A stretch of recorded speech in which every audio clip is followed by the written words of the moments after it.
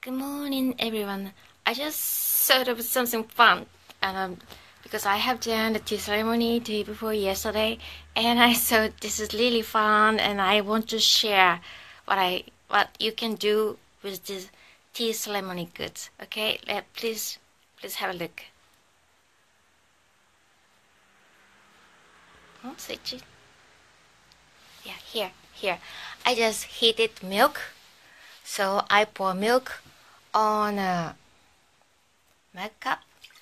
I mean the cafe or bowl, and with this chasen, I can beat. I forgot to take video day before yesterday, so I saw that many non-Japanese people don't know the speed of how, how first you move your chasen, this bamboo beater. See, almost done. See? Very foamy milk is done. Thank you for watching. This is what you can do with this chasen bamboo beater. Okay? Have a nice day.